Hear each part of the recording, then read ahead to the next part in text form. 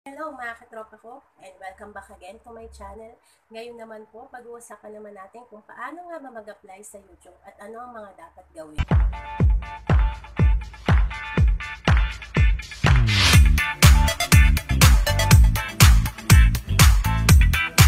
Hello mga katropa ko and welcome back again to my channel. Ngayon naman po, pag-uusapan naman natin kung paano nga ba mag-apply sa YouTube at ano ang mga dapat gawin. Marami na rin pong nagtatanong sa akin kung paano nga ba ang ginawa ko sa pag-apply sa YouTube. And ngayon po yung, ngayon ko po tatalakayin sa inyo kung paano mag-apply at kung ano yung ginawa ko kay YouTube.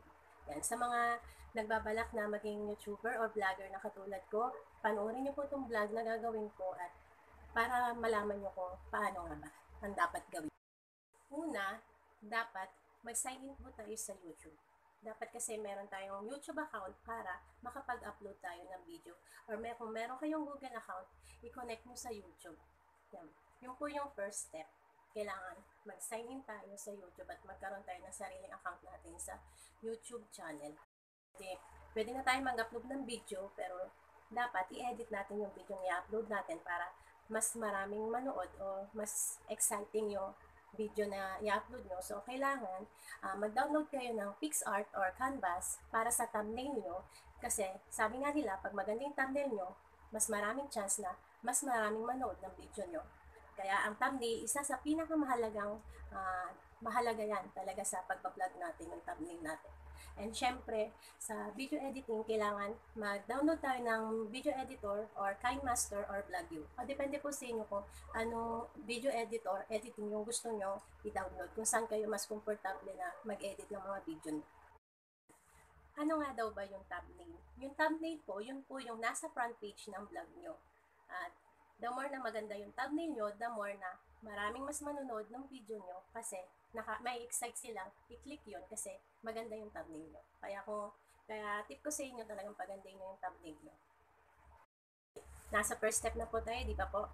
Sign in sa YouTube account. Dapat magkaroon kayo ng account sa YouTube. Then pangalawa, uh, may requirements si YouTube na kailangan ma-meet natin or makuha natin within one year.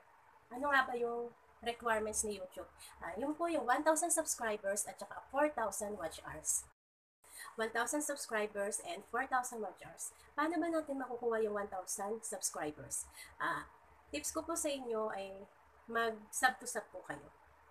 Nakakapanood ako ng ibang YouTuber na nagsasabi na hindi daw advisable na makapag-sub to sub para makakuha agad ng 1,000 subscribers.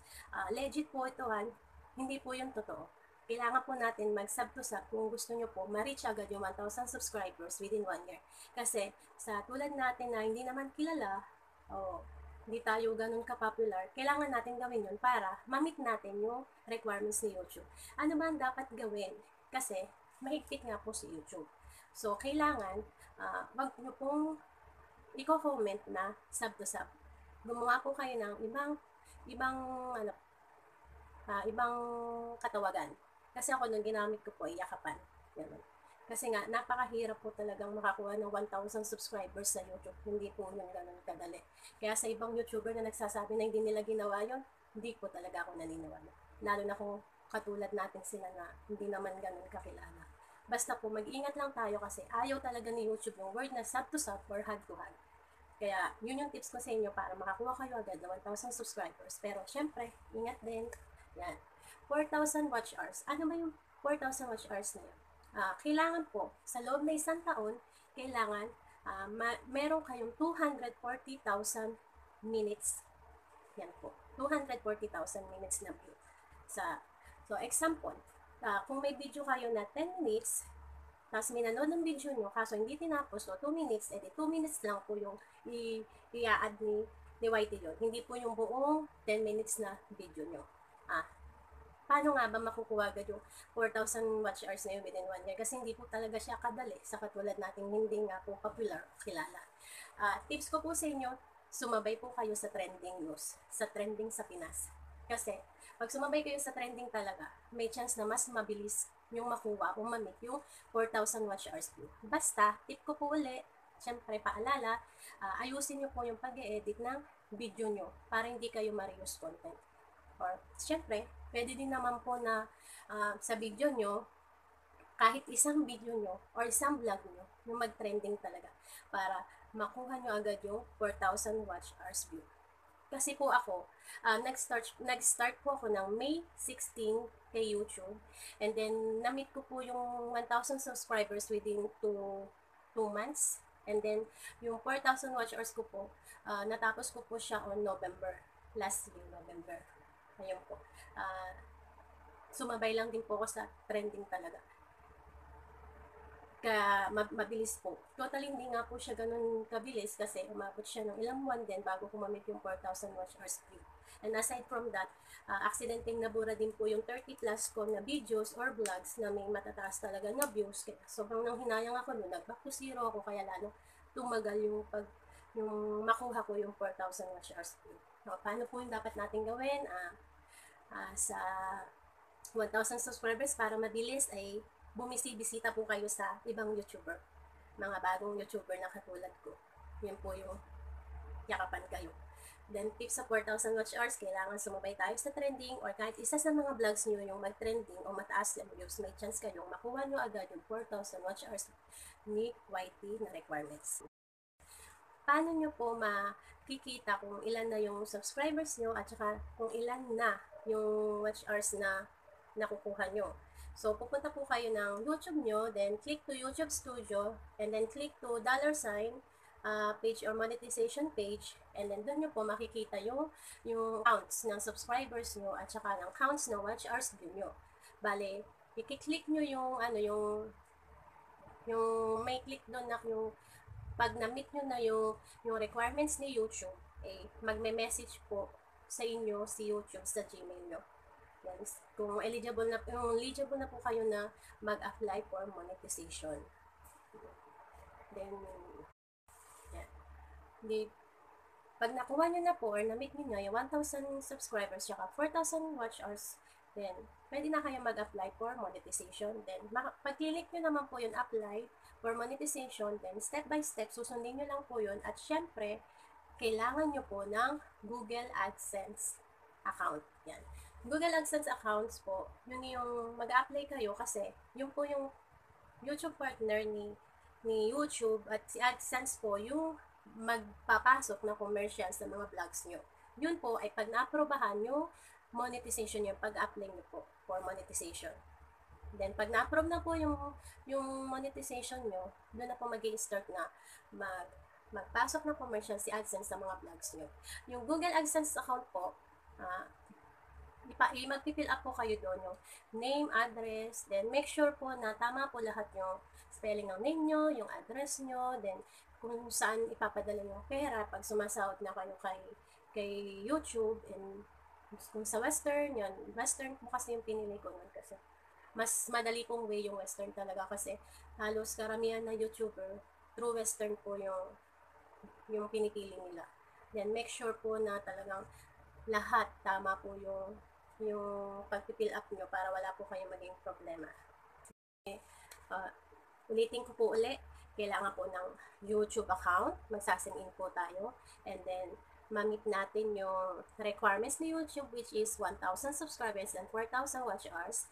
And then, kailangan po may Google AdSense tayo. Yan. Yan po yung mga dapat nating gawin, mga paano mag-apply kay YouTube. And then, syempre, pag naprobahan na ni YouTube yung yung monetization nyo, uh, magme-message po sa inyo ang ang YouTube na congratulations, you, you, you, yeah, mag, mag-message sa inyo. Approve na po ni YouTube yung, yung apply nyo for monetization, yun. Doon na po mag start na magpasok ng commercial sa vlogs nyo. And then, syempre, after that, kailangan makaroon kayo ng one, ah, what you, $10 para ma-send sa inyo yung Google AdSense pin nyo. Kasi pag walang Google AdSense pin, hindi nyo po makukuha yung sahod nyo kay YouTube. Eh ako po ay waiting pa para sa Google AdSense pin ko and sana po uh, hindi ako mahirapan doon kasi karamihan o hindi naman karamihan or sa ibang YouTuber nangyayari na matagal dumating yung Google AdSense nila. Minsan, sa unang apply ng Google AdSense nila, hindi basta-basta dumarating. So, kailangan panuli nilang mag-apply. Uh, alam ko, sa, nanonood kasi ako noon eh, uh, pwede daw mag-apply sa Google AdSense pin ng tatlong beses para mag-request ka nun. And then, pag, na, pag talagang na-receive mo siya, walang naging problema, di okay na okay po, hindi sasakit yung ulo nyo kahit isip ko paano kayo, paano nyo makukuha yung salary kay YouTube. Then, yun lang po muna yung vlog ko sa inyo and sana po may natutunan po kayo sa sa vlog ko for today at sa mga uh, YouTuber na nagbabalak din na katulad ko. Uh, mag-go na po kayo hanggat maaga pa. Mag-YouTube na rin po kayo. Mag-vlog na rin po kayo para wala namang po masama, wala namang wala namang fee, nababayaran. Basta enjoy nyo lang, upload, upload kayo ng video nyo. Then, para pagdating ng mga ilang buwan, ilang taon, di ba? Okay na pala yung, yung YouTube account nyo, yung channel nyo. So, kaya kung gusto nyo pong talagang mag-YouTube, eh, umpisahan nyo na po talaga. Then, yun lang po sa ngayon. And siyempre po gusto ko pong magpasalamat sa inyo lahat sa walang sawang panonood ng mga vlogs ko. Yan, sobrang thankful po ako sa inyo, sa mga sumusuporta sa channel ko, sa mga kakilala ko, pamilya ko, kamag-anak ko, kaibigan ko, kakilala, work, mga ka-work ko dati, yan. Mga naging friends ko sa YouTube, yan. Thank you po sa inyo sa pagsuporta sa channel ko and sa mga hindi pa po nagsusubscribe sa channel ko, please subscribe na po kayo and don't forget to click the notification bell para lagi po kayong updated sa mga vlogs na gagawin ko. And muli po, ako po ulit si Sandy and thank you so much po again and see you again in my next vlog. Bye-bye!